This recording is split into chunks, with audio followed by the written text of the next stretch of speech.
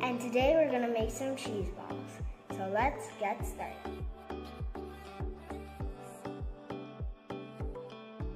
Okay, so the first thing you wanna do is you're gonna cut your cheese.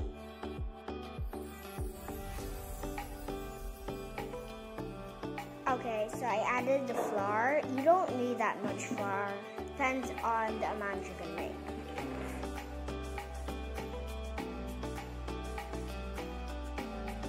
Then I have a finished up plate. So since we have everything ready, let's get into the process.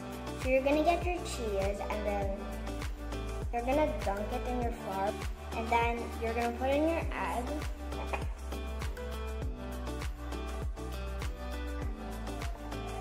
in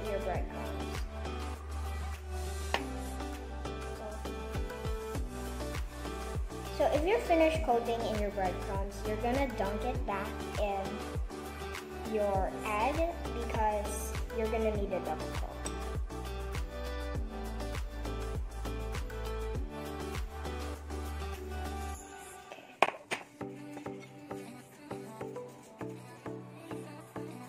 So here I have the product.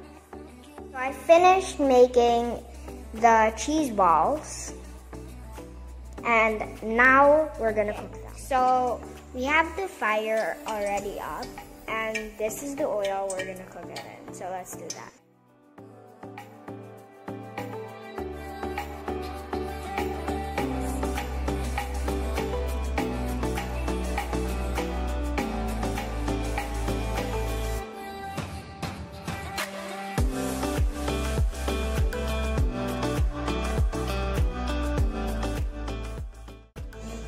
The cheese ball.